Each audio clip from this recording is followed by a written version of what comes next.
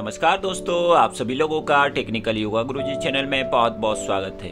दोस्तों, आज आपके लिए लेके आए एक महत्वपूर्ण आसन, जिसका नाम है ईगल पोज गरुड़ आसन। तो बाएँ पैर के ऊपर आपको दाहिने पैर को लपेटना इस तरीके से हाथों को हाथों में लपेट लीजिएगा।